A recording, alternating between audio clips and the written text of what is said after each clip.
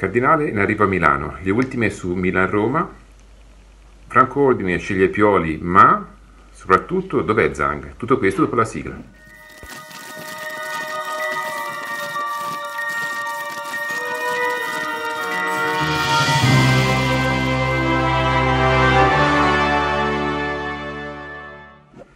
Ciao a tutti e benvenuti a questa nuova puntata del Calcio Secondo Giovanni. Vi ricordo di mettere un like al video, vi ricordo di iscrivervi a DNA Rossonero TV, è completamente gratuito. Cliccate su iscriviti e attivate la campanella. Manco solamente 3 iscrizioni a arrivare agli 8200 iscritti, quindi mi raccomando, un minimo di impegno, eh, iscrivetevi, è tutto gratuito, in questo modo potete seguirci e eh, essere aggiornati su tutto ciò che riguarda il Milan in tempo reale in anteprima, attraverso le nostre rubriche giornaliere, attraverso le nostre live martedì e giovedì sera. A proposito, stasera dalle 20 e 30 pre-partita e post-partita attorno a 22.45 23 circa di Milan-Roma, perché noi facciamo anche pre e post-partita di tutte le partite del Milan. Inoltre vi ricordo che potete rimanere in contatto con noi tramite la chat durante il video e a fine video lasciando un vostro pensiero nei commenti a cui cercherò di rispondere il prima possibile. Veniamo quindi al, alle notizie di oggi. Partiamo logicamente dalle notizie inerenti a Milan-Roma. Allora, innanzitutto eh, Milan-Roma, partita importante, probabilmente la partita più importante del trittico di, con Inter e con Juventus che affronteremo nell'arco di una quindicina-venti giorni. Eh, andata dei quarti finali di Europa League, una partita che eh, sicuramente non sarà facile, soprattutto perché la Roma è notevolmente migliorato quantomeno come gioco rispetto ai tempi di Mourinho eh, soprattutto perché eh, nella parte, diciamo, nei centrali difensivi ci manca Tomori che è, secondo me è l'asse portante della difesa del Milan, anche quando non è in piena forma. Eh, ed è qui probabilmente l'unico dubbio che rimane nella formazione, in quanto il dubbio attualmente è fra Kier e Ciao. Secondo me Kier è più avvantaggiato, in quanto eh, diciamo, ha giocato qualche minuto anche della partita eh, con il Lecce, eh, è da più tempo che sta bene, Ciao è stato recuperato all'ultimo momento e quindi può darsi che venga fatto accomodare in panchina. Per il resto entrerà Benasser, come avevamo detto, giocherà, uscirà Ciucuezze eh, e giocheranno Loftucic, Reinders e Benasser a centrocampo con la solita formazione, quindi con Pulisic da destra, Leao a sinistra, Giroud al centro. E in difesa dobbiamo averci Calabria mm, e poi al centro ehm, Kier e, eh, e, Gabbia e all'altro sinistro logicamente sarà Teo Hernandez con in porta Megnan.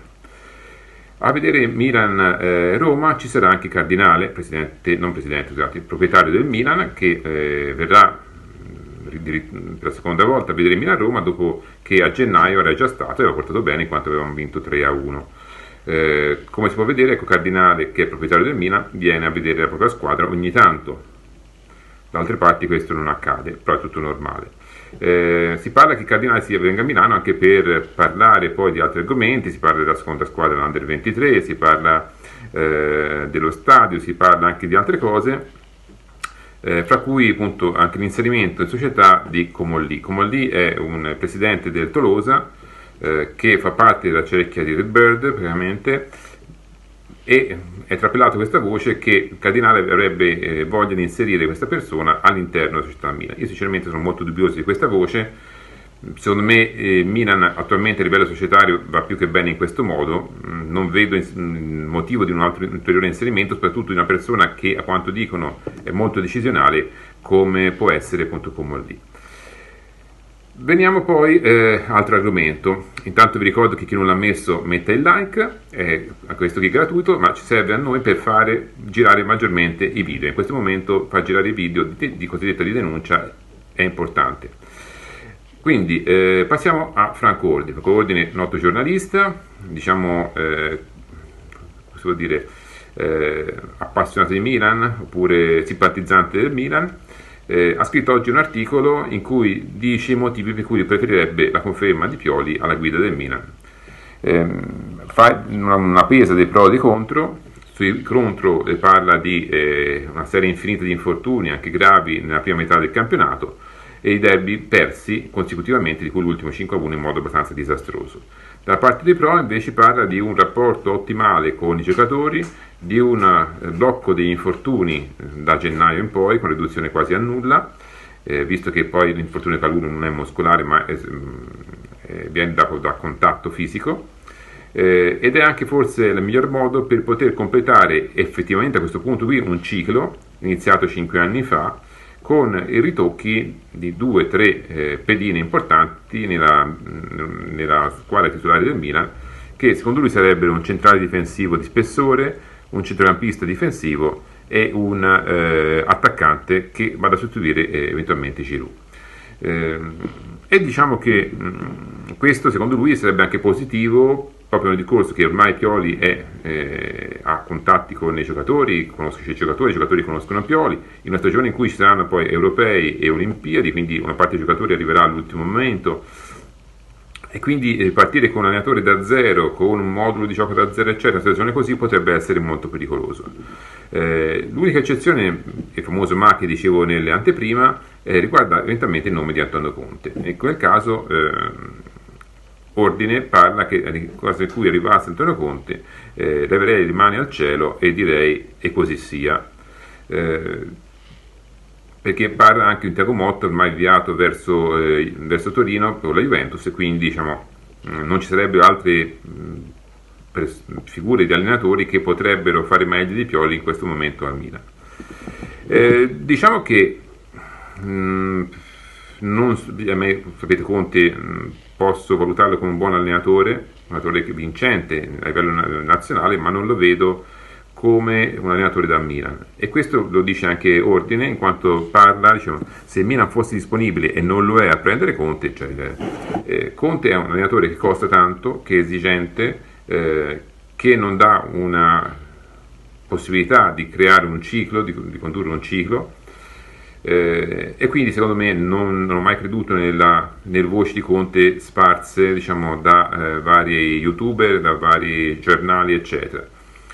Mm, c'è chi ha detto che Conte aveva già firmato, che era già pronto eccetera, sto aspettando la firma di Conte e così via. Eh, così come sto aspettando la, la, firma di Giroud, che ho visto anche ieri un uh, titolo un, su una, un giornale online in cui si parla cosa manca, credo a calciomercato.com, cosa manca per passaggio di Giroud a Los Angeles, la firma. Beh, eh, diciamo che la cosa più importante, se la firma non c'è, eh, Giroud a Los Angeles non va. Io so, continuo a essere fiducioso che Giroud rimanga per un altro anno, poi vedremo chi avrà ragione, eh, tanto manca ormai un paio di mesi circa, e capiremo quale sarà la scelta fatta, che sarà fatta da Giroud. Nel frattempo stiamo ancora attendendo di capire cosa è successo ieri all'udienza di Zhang con eh, China Construction Bank.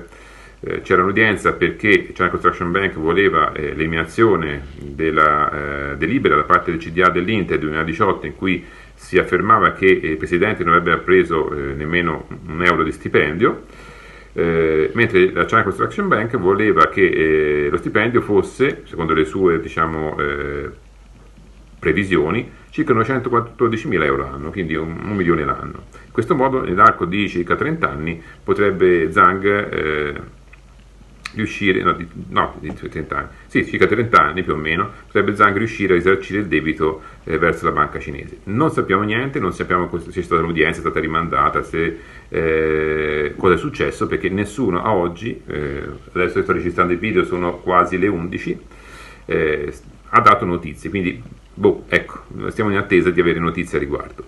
Ma continua la domanda che ci stiamo ponendo un po' tutti noi del Milan, ma non solamente del Milan, dov'è Zang? Io consiglierei di fare un hashtag dove Zang, di renderlo virale su YouTube, su Facebook, eccetera. Sì, perché diciamo che comunque vari giornali, eh, vari giornalisti opinionisti hanno iniziato a denunciare questa assenza del presidente dell'Inter ormai da dieci mesi. Eh, diciamo che solamente Gazzetta e Repubblica cons- insistono a avere le visioni di un Zang presente in Italia. Eh, la Gazzetta parlava addirittura da metà settembre che doveva esserci Zang, questo è l'articolo di Davide Stoppini, quindi può essere relativamente affidabile, visto che Stoppini è un giornalista in adorazione dell'Inter. Eh, Maro ribadisce poi a febbraio, ribadisce anche eh, un mese fa circa che doveva entrare inizio aprile, e anche Panorama cinque giorni fa dice che Zhang doveva eh, entrare diciamo, in Italia per la festa dello scudetto. Ebbene, tutte queste dicerie positive sono state eh, tranquillamente sconfessate da notizie sicuramente molto più certe in cui Zhang nemmeno per la festa dello scudetto ritornerà in Italia. Con questo arriveremo a circa 11 mesi di assenza in Italia, ma è tutto normale. Eh, nel frattempo però diciamo che tanti altri giornali hanno espresso mh, qualche dubbio su dove è Zhang, ad esempio l'Espresso nel gennaio 2024 Zagri, il presidente eh, virtuale dell'Inter, Tribuna.com, presidente scomparso Inter, Zang tra eh, debito eh, e rischio cessione, il sito blog Inter Scudetto ok, ma Zang è sparito, tutto sport a settembre, questo lo dice eh, eh, che parla appunto della scomparsa di Zang, Virgilio Sport, Zang sparito da nove mesi, eh, Ravezzani, presidente eh, di eh, Direttori Sport Italia, Inter, eh, di, scusate, di Telo Lombardia, Inter presidente scomparso, Calcio Now 27 gennaio 2023, Zang sparito dall'Inter, Calcio Gol eh, del novembre 2023, presidente Inter, addirittura qui dicono eh, che è stato eh, diciamo, arrestato, io in queste cose qui non credo, eh, però si arriva a dire queste cose perché non si hanno notizie certe. Eh, addirittura c'è un sito dell'Inter, interlive.it, il 14 dicembre, che parla, dice Zang, eh, è uscito allo scoperto a parole, ma intanto continua a nascondersi fisicamente. Questo non lo dico io, lo dice un, un sito dell'Inter, interlive.it, che è abbastanza conosciuto all'interno dei, dei siti eh, che relazionano con l'Inter. E poi tutto sport, il 28 novembre 2023, Zhang si è dato alla fuga, eh, in Cina è sparito. Questa è la situazione. Mm, mi sembra una situazione che ormai diciamo, è risaputa, lo sanno tutti, solo chi dovrebbe controllare non lo sa. Quindi federazione, Covisoc, queste cose sembrano normali. Eh, si fanno, conducono indagini su, per, su, su capire di chi è la proprietà del Milan, senza senso, mh, mm, inventandosi eh, come si può dire, enti di diritto privato che, faccia, che invece siano pubblici, eh, inventandosi cose che spero che prima possibile siano chiarite, ma su cose effettivamente concrete non si fa eh, niente. Rivediamo il concetto, dov'è Zang? Qualcuno ci risponda, perché non è possibile che siano dieci mesi che Zang sia nanchino per affari personali che non abbia trovato un giorno per andare a vedere la sua squadra vincere la Supercoppa a Riyadh, che non abbia trovato due o tre giorni per andare a vedere un derby col Milan eh, o che per venire alla festa dello scudetto, non ci credo, soprattutto quando fino allo scorso anno Zang almeno 4-5 volte all'anno veniva sempre. Però è tutto normale. Intanto oggi mancano 19 giorni alla scadenza dell'opzione eh, sul terreno di Rozzano e mancano 39 giorni alla scadenza del prestito di Octree. L'orologio va avanti, sempre più vicino alla scadenza. C'è un silenzio tombale, a parte l'invenzione della Gazzetta, che riguarda sia Rozzano che Octree. Aspettiamo, mettiamoci sul fiume e aspettiamo a vedere chi passa. Prima o poi qualcuno passerà. Vi ricordo di mettere like al video, vi ricordo di iscrivervi al Rossonero TV, vi ricordo soprattutto stasera eh, il pre-post partita con noi, quindi 20.30 pre-partita di Milan-Roma, partita poi logicamente vedremo tranquillamente ovunque, potete vederla su Skype, potete vederla su, eh, sulla RAI anche, e poi 22.45-23 post partita Milan-Roma, incrociando le dita, sperando di eh, sorridere di aver visto una bella partita, un bel risultato da parte del Milan. Ciao a tutti, buona giornata e forza Milan da Giovanni.